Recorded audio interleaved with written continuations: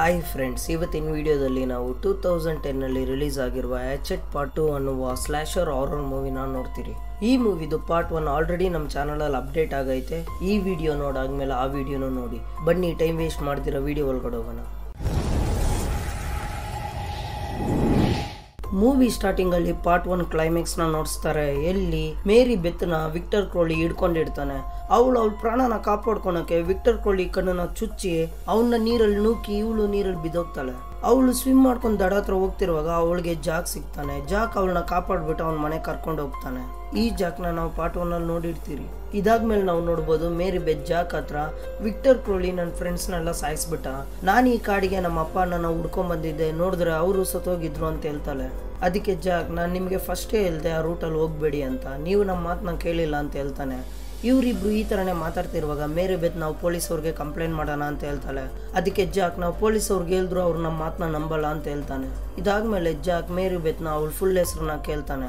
ಅದಕ್ಕೆ ಅವಳು ನನ್ನ ಹೆಸರು ಬಂದು ಮೇರಿ ಬೆತ್ ಡನ್ಸ್ಟನ್ ಅಂತ ಹೇಳ್ತಾಳೆ. ಈ ಹೆಸರನ್ನ ಕೇಳಿದ ತಕ್ಷಣ ಅವನಿಗೆ ಶಾಕ್ ಆಗ್ಬಿಡುತ್ತೆ. ಅವನು ಅವ್ರ ಅಪ್ಪ ಹೆಸರನ್ನ ಕೇಳ್ತಾನೆ. ಅವಳು ಅವ್ರ ಅಪ್ಪ ಹೆಸರನ್ನ ಹೇಳ್ತಾಳೆ. ಇಲ್ಲಿ ಜಾಕಗೆ ಅರ್ಥ ಆಗುತ್ತೆ ಇವಳು ಬಂದು ಸ್ಯಾಮ್ಸನ್ ಮಗಳಂತ ಜಾಕ್ ಸಡನ್ ಆಗಿ ಅವಳನ್ನ ಮನೆಯಿಂದ ಆಚೆ ಹೋಗೋಕೆ ಕೇಳ್ತಾನೆ. ಅದಕ್ಕೆ ಅವಳು ಯಾಕಂತ ಕೇಳ್ತಾಳೆ? ಆದ್ರೆ ಜಾಕ್ ಏನು ಹೇಳ್ದಿರ ಗಣ್ಣೆತ್ಕೊಂಡ್ಬಿಟ್ಟು ಅವಳನ್ನ ಪಾಯಿಂಟ್ ಔಟ್ ಮಾಡಿ ನಿನ್ಗೇನ ಗೊತ್ತಾಗ್ಬೇಕಂದ್ರೆ ಝೋಂಬಿ ಅನ್ನೋನ್ನ ಹೋಗಿ ಮೀಟ್ ಆಗು. ಅವ್ನು ನಿನ್ ಪ್ರಶ್ನೆಗೆಲ್ಲ ಉತ್ತರ ಕೊಡ್ತಾನೆ ಅಂತ ಹೇಳ್ತಾನೆ. ಇದನ್ನ ಕೇಳಿದ ತಕ್ಷಣ ಮೇರಿ ಬೇತ ಜಾಗದಿಂದ ಹೋಗ್ಬಿಡ್ತಾನೆ ಅವಳು ಹೋಗಾದ್ಮೇಲೆ ಜಾಕ್ ಒಂದು ಬ್ಯಾಗ್ನ ಚೆಕ್ ಮಾಡ್ತಾನೆ. ಆ ಬ್ಯಾಗ್ ಅವನಿಗೆ ಕಾಡಲ್ಲಿ ಸಿಕ್ಕಿರುತ್ತೆ. ಆ ಬ್ಯಾಗ್ ಬಂದು ಡಕ್ಕದು ಡಕ್ ಯಾರಂತ ಪಾರ್ಟ್ ಒನ್ ನೋಡಿರೋರ್ಗೆ ಗೊತ್ತಿರುತ್ತೆ. ಆ ಬ್ಯಾಗ್ ಅಲ್ಲಿ ಒಂದು ಕ್ಯಾಮ್ರಾ ಇರುತ್ತೆ. ಆ ಕ್ಯಾಮ್ರಾನ ಇವನು ಎತ್ಕೊಂಡು ವಿಡಿಯೋ ಪ್ಲೇ ಮಾಡ್ತಾನೆ. ನೋಡಿದ್ರೆ ಸಡನ್ ಆಗಿ ಅಲ್ಲಿ ಕ್ರೌಳಿ ಬರ್ತಾನೆ. ಅವ್ನ್ ಬಂದಿದ ತಕ್ಷಣ ಕೈನ ಜಾಕ್ ಕೊಟ್ಟೆ ಒಳಗಡೆ ಬಿಟ್ಟು ಕರ್ಲ್ನ ಆಚೆ ಎತ್ತಾನೆ ಜಾಗ್ ನೋವಿಂದ ಕೆಳಗಡೆ ಬಿದ್ದೋಗ್ತಾನೆ. ಅವ್ನು ಹಂಗ ಹಿಂಗ ಅಲ್ಲಿಂದ ಎಸ್ಕೇಪ್ ಆಗಕ್ ಟ್ರೈ ಮಾಡ್ತಾನೆ. ಆದ್ರೆ ಕ್ರೌಳಿ ಜಾಕ್ನ ಹಿಡ್ದು ಭಯಂಕರವಾಗಿ ಸಾಯಿಸ್ಬಿಡ್ತಾನೆ. ನೆಕ್ಸ್ಟ್ ಸೀನ್ ಅಲ್ಲಿ ನಾವು ನೋಡಬಹುದು ಹೀರೋಯಿನ್ ವಿಲೇಜ್ನ ರೀಚ್ ಆಗಿರ್ತಾಳೆ. ಅವಳು ಜೋಂಬಿ ಅನ್ನೋ ವ್ಯಕ್ತಿನ ಹುಡುಕ್ತಾ ಇರ್ತಾಳೆ. ಸ್ವಲ್ಪ ಹೊತ್ತಾದ್ಮೇಲೆ ಅವ್ನು ಸಿಗ್ತಾನೆ. ಆದ್ರೆ ಅವನು ಕರೆಕ್ಟ್ ಆಗಿ ರೆಸ್ಪಾನ್ಸ್ ಮಾಡಲ್ಲ. ಅದಕ್ಕೆ ಹೀರೋಯಿನ್, ನಾನು ನಿನ್ನ ಹತ್ರ ಮುಖ್ಯವಾಗಿ ಏನೋ ಮಾತಾಡ್ಬೇಕಂತ ಕೇಳ್ತಾಳೆ. ಝೋಂಬಿ ಸ್ವಲ್ಪ ಹೊತ್ತು ಯೋಚನೆ ಮಾಡಿ ಅವಳನ್ನ ಒಳಗಡೆ ಕರ್ಕೊಂಡು ಡೋರ್ನ ಲಾಕ್ ಮಾಡ್ಕೊಂತಾನೆ. ಅದಾದ್ಮೇಲೆ ಅವನು ಆ ಕಾಡಲ್ಲಿ ನಡೆದಿದ್ನೆಲ್ಲ ಅವಳನ್ನ ಕೇಳ್ತಾನೆ. ಹೀರೋಯಿನ್ ನಡೆದಿದ್ನೆಲ್ಲ ಅವನ ಹತ್ರ ಹೇಳ್ತಾಳೆ. ಮತ್ತೆ ಇವ್ರ ಗೈಡ್ ಶಾನ್ ಸತ್ತಿದ್ದು ಅವಳು ಹೇಳ್ತಾಳೆ. ಇದನ್ನ ಕೇಳಿದ ತಕ್ಷಣ ಝೋಂಬಿಗೆ ಅಪ್ಸೆಟ್ ಆಗುತ್ತೆ. ಯಾಕಂದ್ರೆ ಶಾನ್ ಬಂದು ಝೋಂಬಿಗೋಸ್ಕರನೇ ಕೆಲಸ ಮಾಡ್ತಿದ್ದಿದ್ದು. ಇದಾದ್ಮೇಲೆ ಹೀರೋಯಿನ್ ಅವ್ರ ಅಪ್ಪ ಹೆಸರು ಹೇಳ್ಬಿಟ್ಟು ಅವ್ರ ಅಪ್ಪ ಬಗ್ಗೆ ನಿನ್ಗೆ ಏನಾನ ಗೊತ್ತಾ ಅಂತ ಕೇಳ್ತಾಳೆ. ಅದಕ್ಕೆ ಝೋಂಬಿ ಒಂದು ಕತೆ ಹೇಳಕ್ ಸ್ಟಾರ್ಟ್ ಮಾಡ್ತಾನೆ. ತುಂಬಾ ದಿನಗಳ ಹಿಂದೆ ಥಾಮಸ್ ಕ್ರೌಲಿ ಅಂತ ಒಬ್ಬ ವ್ಯಕ್ತಿ ಇದ್ದ. ಅವನ ಹೆಂಡತಿಗೆ ಒಂದು ವಿಚಿತ್ರ ಕಾಯಿಲೆ ಆ ಕಾಯಿಲೆಗೆ ಕ್ಯೂರೇ ಇಲ್ಲ. ಇದರಿಂದ ಅವ್ರಿಗೆ ಮಕ್ಕಳೇ ಇದ್ದಿಲ್ಲ. ಅವನಿಂತಿನ ನೋಡ್ಕೊಳಕ್ಕೆ ಒಂದು ನರ್ಸ್ ಬರ್ತಾ ಇದ್ಲು. ಅವಳ ಹೆಸರು ಬಂದು ಲೀನಾ ಟೈಮ್ ಆಗ್ತಾ ಆಗ್ತಾ ಥಾಮಸ್ ಮತ್ತೆ ನರ್ಸ್ ಮಧ್ಯೆ ಲವ್ ಆಗುತ್ತೆ. ಥಾಮಸ್ ಈ ವಿಷಯನ ಅವ್ರ ಹೆಂತಿಯಿಂದ ಬಚ್ಚಿಕೆ ಒಂದಿನ ಥಾಮಸ್ ಹೆಂತಿ ಸತ್ತೋಗವಳು ಅನ್ಬಿಟ್ಟು ಇವರಿಬ್ರು ಕಿಸ್ ಮಾಡ್ತಾರೆ. ನೋಡಿದ್ರೆ ಅವಳು ಸತ್ತಿರಲ್ಲ, ಅವಳು ಸತ್ತಿರೋ ತರ ನಾಟಕ ಮಾಡಿರ್ತಾಳೆ. ಅವಳು ಸಾಯಕ್ಕಿಂತ ಮುಂಚೆ ಕೋಪದಿಂದ ಲೀನಾ ಗುಟ್ಟ ಮಗು ಮೇಲೆ ಶಾಪ ಹಾಕಿ ಸತ್ತೋಗ್ತಾಳೆ. ಇದಾದ್ಮೇಲೆ ಸ್ವಲ್ಪ ತಿಂಗಳಾದ್ಮೇಲೆ ನಾವು ನೋಡ್ಬೋದು ಲೀನಾಗೆ ಒಂದು ಮಗು ಹುಟ್ಟುತ್ತೆ. ಆ ಮಗು ತುಂಬಾ ಭಯಂಕರವಾಗಿರುತ್ತೆ. ಆ ಮಗುನ ನೋಡಿದ ತಕ್ಷಣ ಲೀನನೆ ಹಾರ್ಟ್ ಅಟ್ಯಾಕ್ ಬಂದು ಸತ್ತೋಗ್ತಾಳೆ. ಆ ಮಗು ಬೇರೆ ಯಾರು ಅಲ್ಲ, ಅದೇ ವಿಕ್ಟರ್ ಕ್ರೋಲಿ. ಥಾಮಸ್ಗೆ ಸ್ಟಾರ್ಟಿಂಗ್ ಅಲ್ಲಿ ಅವ್ರ ಮಗನ ಮೇಲೆ ಪ್ರೀತಿ ಇರಲ್ಲ. ಆದ್ರೆ ಹೋಗ್ತಾ ಹೋಗ್ತಾ ಅವನು ಅವ್ರ ಮಗನ ಚೆನ್ನಾಗಿ ನೋಡ್ಕೊಂತಾನೆ. ಹಾಲೋವಿನ್ ಡೇ ರಾತ್ರಿ ಮೂರು ಹುಡುಗರು ತರಲೆಯಿಂದ ಥಾಮ್ಸನ್ ಮನೆ ಬೆಂಕಿ ಅಂಟ್ಕೊಂಡು ಹೋಗ್ತಾನೆ ಥಾಮ್ಸನ್ ಅವ್ರ ಮಗನ ಕಾಪಾಡೋಣ ಅಂತ ಆಕ್ಸ್ ಯೂಸ್ ಮಾಡಿ ಡೋರ್ನ ಹೊಡಿತಾನೆ ನೋಡಿದ್ರೆ ಆ ಸೈಡ್ ವಿಕ್ಟರ್ ಇರ್ತಾನೆ. ಥಾಮ್ಸನ್ಗೆ ಗೊತ್ತಿಲ್ದಿರ ಅವನು ವಿಕ್ಟರ್ ತಲೆಗೆ ಆಕ್ಸಲ್ ಹೊಡೆದು ಬಿಡ್ತಾನೆ. ಇದರಿಂದ ವಿಕ್ಟರ್ ಸತ್ತೋಗ್ತಾನೆ. ನನ್ ಮಗನ ನನ್ನ ಕೈಯಿಂದನೇ ಸಾಯಿಸಿದೆ ಅಂತ ಡಿಪ್ರೆಷನ್ ಅಲ್ಲಿ ಥಾಮಸ್ ಸತ್ತೋಗ್ತಾನೆ. ಈ ಘಟನೆಯಿಂದ ರಾತ್ರಿ ಆಯ್ತಂದ್ರೆ ವಿಕ್ಟರ್ ಕ್ರೋಲಿ ಅವ್ರ ಅಪ್ಪನ ಹುಡ್ಕೊಂಡು ಕಾಡೆಲ್ಲ ಓಡಾಡ್ತಾನೆ. ಅವನ ಮುಂದೆ ಯಾರೇ ಸಿಕ್ಕಿದ್ರು ಅವ್ರನ್ನ ಸಾಯಿಸ್ಬಿಡ್ತಾನೆ.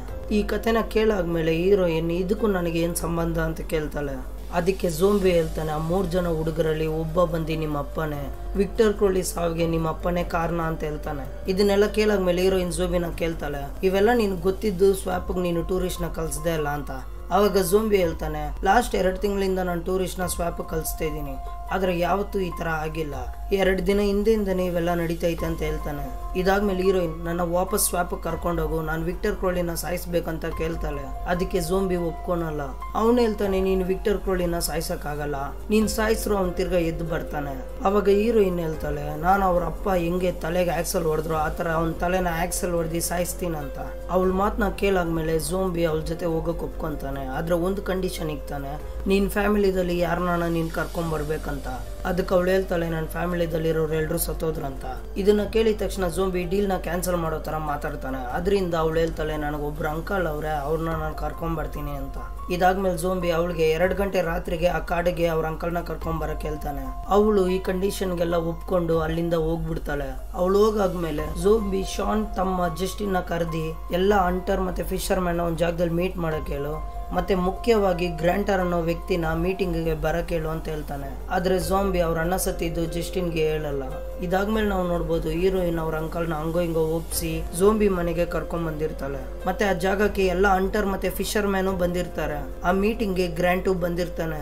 ಮೀಟಿಂಗ್ ಸ್ಟಾರ್ಟ್ ಆಗ್ತಾ ಜೋಂಬಿ ಅವ್ರ ಮುಂದೆ ಬಂದು, ನಿಮಗೆಲ್ಲ ಫೈವ್ ಹಂಡ್ರೆಡ್ ಡಾಲರ್ ಸಿಗೋ ಆಫರ್ ಐತೆ. ನಿಮ್ ಮುಂದೆ ಕೆಲಸ ಏನಂದ್ರೆ ಕಾಡಿಗೆ ಹೋಗ್ಬಿಟ್ಟು ವಾಪಸ್ ಬರೋದೆ. ಇದ್ರ ಮಧ್ಯೆ ವಿಕ್ಟರ್ ಕ್ರೋಡಿ ಸಿಕ್ಕಿದ್ರೆ ಅವ್ನ ಸಾಯಿಸ್ಬೇಕಾಗುತ್ತೆ ಅಂತ ಹೇಳ್ತಾನೆ. ವಿಕ್ಟರ್ ಕ್ರೋಲಿ ಹೆಸರು ಕೇಳಿದ ತಕ್ಷಣ ಅರ್ಧಕ್ಕೆ ಅರ್ಧ ಅಂಟರ್ಸ್ ಆ ಜಾಗದಿಂದ ಎದ್ದೋಗ್ಬಿಡ್ತಾರೆ. ಅವ್ರ ಮಧ್ಯೆ ಗ್ರ್ಯಾಂಟ್ ಹೋಗ್ತಾ ಇರ್ತಾನೆ. ಅವಾಗ ಜೋಂಬಿ ಗ್ರ್ಯಾಂಟ್ನ ಸಪರೇಟ್ ಕರ್ಕೊಂಡೋಗಿ ಡಬಲ್ ಆಫರ್ ಕೊಡ್ತೀನಿ ಅಂತ ಹೇಳ್ತಾನೆ. ಇದನ್ನ ಕೇಳಿದ ತಕ್ಷಣ ಗ್ರ್ಯಾಂಟ್ ಆಫರ್ನ ಒಪ್ಕೊಂತಾನೆ. ನೆಸ್ಸಿನಲ್ಲಿ ನಾವು ನೋಡ್ಬೋದು ಇವರೆಲ್ಲ ಕಾಡ್ನ ರೀಚ್ ಆಗ್ತಾರೆ. ರೀಚ್ ಆಗಿದ ತಕ್ಷಣ ಅವರು ಕ್ರೋಳಿ ಮನೆನ ಹುಡುಕ್ತಾರೆ. ಯಾಕಂದ್ರೆ ಕ್ರೋಳಿ ಮನೆಯಲ್ಲಿ ಹೀರೋಯಿನ್ ಅಪ್ಪ ಮತ್ತೆ ಅಣ್ಣ ಡೆಡ್ ಬಾಡಿ ಇರೋದು. ಅವರು ಕ್ರೋಳಿ ಮನೆನ ಹುಡುಕ್ತಾ ಹುಡುಕ್ತಾ ರಾತ್ರಿ ಆಗ್ಬಿಡುತ್ತೆ. ಆದ್ರೆ ಅವ್ರಿಗೆ ಕ್ರೋಳಿ ಮನೆನೇ ಸಿಗಲ್ಲ. ಇದರಿಂದ ಜೋಂಬಿ ಒಂದು ಐಡಿಯಾ ಕೊಡ್ತಾನೆ. ಎಲ್ರಿಗೂ ಸಪರೇಟ್ ಆಗಿ ಹೋಗಿ ಕ್ರೋಲಿನ ಹುಡುಕಕ್ ಹೇಳ್ತಾನೆ ಯಾರ್ಗಣ ಕ್ರೋಲಿ ಸಿಕ್ಕಿದ್ರೆ ಅವನ್ನ ಶೂಟ್ ಮಾಡಿ ಸಾಯಿಸಕ್ಕೆ ಹೇಳ್ತಾನೆ ಇದ್ರ ಮಧ್ಯೆ ಅವ್ನ್ ತಿರ್ಗಾ ಆಫರ್ಸ್ ಬಗ್ಗೆ ಅವ್ರಿಗೆ ಎಕ್ಸ್ಪ್ಲೈನ್ ಮಾಡ್ತಾನೆ. ಕ್ರೋಳಿನ ಸಾಯಿಸಿ ಅವನ್ ತಲೆನ ತರೋರ್ಗೆ ಐನೂರು ಡಾಲರ್ಸ್ ಅಂತ ಹೇಳ್ತಾನೆ. ಇದಾದ್ಮೇಲೆ ಝೋಂಬಿ ಹೀರೋಯಿನ್ ಹೀರೋಯಿನ್ ಅಂಕಲ್ ಮತ್ತೆ ಗ್ರ್ಯಾಂಡ್ ಸಪ್ರೇಟ್ ಆಗಿ ಹೋಗ್ತಾರೆ. ಮಿಗ್ದವರು ಇನ್ನೊಂದ್ ಸೈಡ್ ಸಪ್ರೇಟ್ ಆಗಿ ಹೋಗ್ತಾರೆ. ನೆಕ್ಸ್ಟ್ ಸೀನ್ ಅಲ್ಲಿ ನಾವು ನೋಡ್ಬೋದು ಇಬ್ರು ಹಂಟರ್ ರಿವರ್ ಪಕ್ಕ ನಿಂತ್ಕೊಂಡು ಮೊಸಳೆನ ಹಿಡಿತಾ ಇರ್ತಾರೆ. ಅವರಿಬ್ರಿಗೆ ಅನ್ಸುತ್ತೆ ವಿಕ್ಟರ್ ಕೋಳಿ ಬಂದು ಒಂದು ಕಟ್ಟು ಕತೆ ಅಂತ. ಇದರಿಂದ ಅವರು ಅಲ್ಲಿ ಫಿಶಿಂಗ್ ಮಾಡ್ತಿರ್ತಾರೆ. ಆವಾಗ ಅವ್ರಿಗೆ ಸಡನ್ ಆಗಿ ವಿಕ್ಟರ್ ಕೋಳಿ ಅವ್ರ ಅಪ್ಪನ ಕರಿಯಾಸ್ಕೊಂಡು ಕೇಳಿಸುತ್ತೆ. ಅವರು ನಮ್ಮ ಹತ್ರ ಯಾರೋ ತಮಾಷೆ ಮಾಡ್ತಾವ್ರ ಅನ್ಬಿಟ್ಟು ಅದನ್ನ ಸೀರಿಯಸ್ ಆಗಿ ಎತ್ಕೊಳಲ್ಲ. ನೋಡಿದ್ರೆ ಅವ್ರಿಗೆ ವಿಚಿತ್ರ ಸೌಂಡ್ ಕಂಟಿನ್ಯೂಸ್ ಆಗಿ ಕೇಳಿಸ್ತಾ ಇರುತ್ತೆ. ಅವರಿಬ್ರಲ್ಲಿ ಒಬ್ಬ ಏನಂತ ನೋಡಕ್ ಹೋಗ್ತಾನೆ. ನೋಡಿದ್ರೆ ಸಡನ್ ಆಗಿ ವಿಕ್ಟರ್ ಕೋಳಿ ಅವನ್ನ ಹಿಡ್ದಿ ಅವನ್ನ ಸಾಯಿಸ್ಬಿಡ್ತಾನೆ. ಇದರಿಂದ ಇನ್ನೊಬ್ಬ ಭಯ ಬಿದ್ದೋಗ್ತಾನೆ ಅವನು ಅಲ್ಲಿಂದ ಎಸ್ಕೇಪ್ ಆಗಕ್ಕೆ ಟ್ರೈ ಮಾಡ್ತಾನೆ. ಅವನು ವಿಕ್ಟರ್ ಕ್ರೋಲಿ ಹಿಡ್ದಿ ಭಯಂಕರವಾಗಿ ಸಾಯಿಸ್ಬಿಡ್ತಾನೆ. ಈ ಸೈಡ್ ಜಸ್ಟ್ ಇನ್ ಝೋಂಬಿ ಹತ್ರ. ಯಾಕೆ ಎಲ್ರ ಕೈಲಿ ಗಣ್ಣ ಐತೆ? ಇಲ್ಲೇನ್ ನಡೀತೈತೆ ಅಂತ ಕೇಳ್ತಾನೆ. ಅದಕ್ಕೆ ಜೋಂಬಿ ಹೇಳ್ತಾನೆ. ಮೇರಿ ಹೇಳಿದ್ದೆಲ್ಲ ಕಥೆನೂ ನಿಜನೇ. ಮತ್ತೆ ವಿಕ್ಟರ್ ಕ್ರೋಲಿ ಈ ತರ ಆಗಕ್ ಕಾರಣ ಬಂದಿ ಮೂರ್ ಜನ. ಅದ್ ಯಾರಂದ್ರೆ ಒಬ್ರು ಬಂದಿ ಮೇರಿ ಬೆತ್ ಅವ್ರ ಅಪ್ಪ, ಇನ್ನೊಬ್ಬ ಬಂದಿ ಅವ್ರ ಅಂಕಲ್, ಮತ್ತೆ ಲಾಸ್ಟ್ ಬಂದಿ ಗ್ರ್ಯಾಂಟ್. ಇವ್ರ ಮೂರ್ ಜನದಲ್ಲಿ ಒಬ್ಬನ ಆಲ್ರೆಡಿ ವಿಕ್ಟರ್ ಕೊಳ್ಳಿ ಸಾಯಿಸ್ಬಿಟ್ಟ ಇನ್ನಿಬ್ರವ್ರೆ ಇವ್ರಿಬ್ರು ವಿಕ್ಟರ್ ಕೊಳ್ಳಿ ಸಾಯಿಸ್ಬಿಟ್ರೆ ಅವನು ಜಾಗ ಬಿಟ್ಟು ಹೋಗ್ಬಿಡ್ತಾನೆ. ಮತ್ತೆ ನಾವು ಆರಾಮಾಗಿ ನಮ್ ಟೂರಿಸ್ಟ್ ಬಿಸ್ನೆಸ್ನ ಮಾಡ್ಬೋದು ಅಂತ ಹೇಳ್ತಾನೆ. ಇದಾದ್ಮೇಲೆ ನಾವು ನೋಡ್ಬೋದು ಇಬ್ರು ಅಂಟರ್ ಅವರು ಬಂದು ಕೇರ್ಲೆಸ್ ಆಗಿಡ್ತಾರೆ ಅವರು ಬೋರ್ ಹೊಡಿತೈತೆ ಅನ್ಬಿಟ್ಟು ಕಾಡಲ್ಲಿ ಎಂಜಾಯ್ ಮಾಡಕ್ ಸ್ಟಾರ್ಟ್ ಮಾಡ್ತಾರೆ. ನೋಡಿದ್ರೆ ಅದೇ ಟೈಮ್ಗೆ ಆ ಜಾಗಕ್ಕೆ ಕ್ರೋಳಿ ಬಂದು ಅವರಿಬ್ಬರನ್ನೂ ಸಾಯಿಸ್ಬಿಡ್ತಾನೆ. ಈ ಮೂವಿದಲ್ಲಿ ಕಿಲ್ಲಿಂಗ್ ಸೀನ್ಸ್ ಎಲ್ಲ ತುಂಬಾ ಆರ್ ರೇಟೆಡ್ ಆಗಿರುತ್ತೆ. ಈ ಸೈಡ್ ಮೇರಿ ಬೆತ್ಗೆ ಕ್ರೌಳಿ ಮನೆ ಸಿಕ್ಬಿಡುತ್ತೆ, ಆದ್ರೆ ಆ ಮನೆಯಲ್ಲಿ ಅವ್ರ ಅಪ್ಪ ಮತ್ತೆ ಅಣ್ಣದು ಡೆಡ್ ಬಾಡಿ ಇರಲ್ಲ. ಇದರಿಂದ ಅವಳಿಗೆ ತುಂಬಾ ದುಃಖ ಆಗುತ್ತೆ. ಮನೆ ಆಚೆ ಇಬ್ರು ಅಂಟರ್ ಇರ್ತಾರೆ, ಅವ್ರಿಗೆ ಕ್ರೌಳಿ ಅಲೋ ಸೌಂಡ್ ಕೇಳಿಸುತ್ತೆ. ಅವರು ಗನ್ ಎತ್ಕೊಂಡು ಹೋಗ್ತಾರೆ, ನೋಡಿದ್ರೆ ಕ್ರೌಳಿ ಒಂದು ಚೈನ್ಸೋ ಮಿಷಿನ್ ಎತ್ಕೊಂಡು ಅವ್ರಿಬ್ರು ಒಂದೇ ಅಟ್ಯಾಕ್ ಅಲ್ಲಿ ಸಾಯಿಸ್ಬಿಡ್ತಾನೆ. ಆ ಇಬ್ರು ಅಂಟರ್ ಕಿರ್ಚೋ ಸೌಂಡ್ನ ಕೇಳಿಸ್ಕೊಂಡು ಮನೆಯಲ್ಲಿರೋರೆಲ್ಲ ಅಲರ್ಟ್ ಆಗ್ಬಿಡ್ತಾರೆ. ಇದ್ರ ಮಧ್ಯ ಜಸ್ಟಿನ್ ನಮ್ಮ ಅಣ್ಣಗೆ ಏನಾಯ್ತಂತ ಹೀರೋಯಿನ್ನ ಕೇಳ್ತಾಳೆ. ಅದಕ್ಕೆ ಹೀರೋಯಿನ್ ನಿಮ್ಮನ್ನ ಸತ್ತಿ ಎರಡು ದಿನ ಆಯ್ತು ಆಯ್ತಂತ ಹೇಳ್ತಾಳೆ. ಇದನ್ನ ಕೇಳಿದ ತಕ್ಷಣ ಜಶ್ನಿಗೆ ತುಂಬಾ ಕೋಪ ಬರುತ್ತೆ. ಅವನು ಜೋಂಬಿನ ಹಿಡ್ಕೊಂಡು ಯಾಕೆ ಇವೆಲ್ಲ ಹೇಳಿಲ್ಲ ಅಂತ ಕೇಳ್ತಾನೆ. ಜೋಂಬಿ ಅವನ್ನ ಹಿಡ್ದು ಸೈಲೆಂಟ್ ಆಗಿರೋ ಕೇಳ್ತಾನೆ. ಯಾಕಂದ್ರೆ ಸೌಂಡ್ ಆಯ್ತಂದ್ರೆ ಅವರಿಬ್ರು ಸಾಯ್ತಾರಂತ. ಇದಾದ್ಮೇಲೆ ನಾವು ನೋಡ್ಬೋದು ಹೀರೋಯಿನ್ ಅಂಕಲ್ ಬಂದು ಹೀರೋಯಿನ್ಗೆ ಒಂದು ಜಾಗಕ್ಕೆ ಹೋಗಿ ಬಚ್ಚಿಕೊಳಕ್ ಹೇಳ್ತಾನೆ ಹೀರೋಯಿನ್ ಬಂದು ಜಸ್ಟಿನ್ ಜೊತೆ ಬಚ್ಚಿಕೊಂತಾಳೆ ಅವಾಗ ಜಸ್ಟಿನ್ ಜೋಂಬಿ ಪ್ಲಾನ್ ಎಲ್ಲ ಹೀರೋಯಿನ್ ಹತ್ರ ಹೇಳ್ತಾನೆ. ಇದನ್ನ ಕೇಳಿದ ತಕ್ಷಣ ಹೀರೋಯಿನ್ ಅವ್ರ ಅಂಕಲ್ನ ಕಾಪಾಡ್ಬೇಕಂತ ಆಚೆ ಓಡ್ತಾಳೆ. ಅವಳು ಓಡೋಗಿದ ತಕ್ಷಣ ಜಸ್ಟಿನ್ ಡೋರ್ನ ಲಾಕ್ ಮಾಡ್ತಾನೆ. ಯಾಕಂದ್ರೆ ವಿಕ್ಟರ್ ಕ್ರೋಳಿ ಒಳಗಡೆ ಬರಬೇಡ್ದಂತ ಆದ್ರೆ ವಿಕ್ಟರ್ ಕ್ರೋಲಿ ಆಲ್ರೆಡಿ ಜಸ್ಟಿನ್ ಹಿಂದೆನೆ ಇರುತ್ತಾನೆ ಕ್ರೌಲಿ ಜಸ್ಟಿನ್ನ ಹಿಂದೆಯಿಂದ ಆಕ್ಸಲ್ ಅಟ್ಯಾಕ್ ಮಾಡಿ ಅವನ ತಲೆನ ಇಂದ ಕಟ್ ಮಾಡಿ ಸಾಯಿಸ್ಬಿಡ್ತಾನೆ. ಈ ಸೈಡ್ ಹೀರೋಯಿನ್ ಅಂಕಲ್ ವಿಕ್ಟರ್ ಕ್ರೋಲಿನ ಸಾಯಿಸ್ಬೇಕನ್ಬಿಟ್ಟು ಡೋರ್ನ ನಾಕ್ ಮಾಡ್ತಾನೆ. ಆವಾಗ ಹೀರೋಯಿನ್ ತಡಿತಾಳೆ. ಆದರೆ ಲೇಟ್ ಆಗಿಬಿಟ್ಟಿರುತ್ತೆ. ವಿಕ್ಟರ್ ಕೋಳಿ ಹೀರೋಯಿನ್ ಅಂಕಲ್ ಮೇಲೆ ಅಟ್ಯಾಕ್ ಮಾಡ್ತಾನೆ.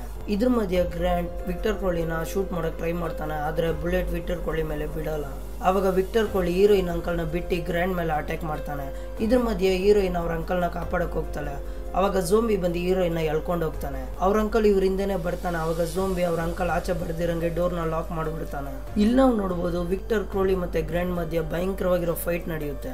ಗ್ರ್ಯಾಂಡ್ ಬಂದು ಇನ್ನೇನ್ ವಿಕ್ಟರ್ ಕ್ರೋಲಿನ ಕತ್ತಿ ಎತ್ಕೊಂಡು ಸಾಯಿಸ್ಬೇಕಂತ ಹೋಗ್ತಾನೆ. ಅಷ್ಟರಲ್ಲಿ ವಿಕ್ಟರ್ ಕ್ರೋಲಿ ಗ್ರ್ಯಾಂಡ್ ಕಾಲ್ನ ಮುರ್ದಿ ಗ್ರ್ಯಾಂಡ್ನ ಭಯಂಕರವಾಗಿ ಸಾಯಿಸ್ಬಿಡ್ತಾನೆ. ಅದಾದ್ಮೇಲೆ ಹೀರೋಯಿನ್ ಅಂಕಲ್ ಮೇಲೇನು ಅಟ್ಯಾಕ್ ಮಾಡಿ ಅವನು ಸಾಯಿಸ್ಬಿಡ್ತಾನೆ.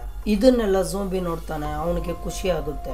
ಯಾರ್ ಮೂರ್ ಜನ ವಿಕ್ಟರ್ ಕ್ರೋಲಿನ ಸಾಯಿಸಿದ್ರು ಅವ್ರನ್ನ ವಿಕ್ಟರ್ ಕ್ರೋಲಿ ಸಾಯಿಸ್ಬಿಟ್ಟ. ವಿಕ್ಟರ್ ಕ್ರೋಲಿದು ರಿವೆಂಜ್ ಇಲ್ಲಿ ಎಂಡ್ ಆಗುತ್ತೆ. ಅವನು ವಾಪಸ್ ಹೋಗ್ಬಿಡ್ತಾನೆ. ಅವಾಗ ಹೀರೋಯಿನ್ ಹೇಳ್ತಾಳೆ, ನಾನು ಇದನ್ನೆಲ್ಲ ಪೊಲೀಸ್ಗೆ ಹೇಳ್ತೀನಿ ಅಂತ ಇದನ್ನ ಕೇಳಿದ ತಕ್ಷಣ ಝೋಂಬಿ ಹೀರೋಯಿನ್ನ ಶೂಟ್ ಮಾಡಕ್ ಹೋಗ್ತಾನೆ. ಅವಾಗ ಹೀರೋಯಿನ್ ಇನ್ನೊಂದು ಶಾಕಿಂಗ್ ನ್ಯೂಸ್ ಹೇಳ್ತಾಳೆ, ಅದೇನಂದ್ರೆ ಬಾಬ್ ಬಂದಿ ನಮ್ಮ ಅಂಕಲ್ ಅಲ್ಲ. ನಮ್ಮ ಅಂಕಲ್ ಯಾವಾಗ ಸುತ್ತೋದ್ರು ಬಾಂಬ್ ಬಂದಿ ನಮ್ಮಪ್ಪ ಬೆಸ್ಟ್ ಫ್ರೆಂಡ್ ಅಂತ ಹೇಳ್ತಾಳೆ. ನೋಡಿದ್ರೆ ಇದೇ ಟೈಮ್ಗೆ ವಿಕ್ಟರ್ ಕ್ರೋಲಿ ಝೋಂಬಿ ಮೇಲೆ ಅಟ್ಯಾಕ್ ಮಾಡ್ತಾನೆ.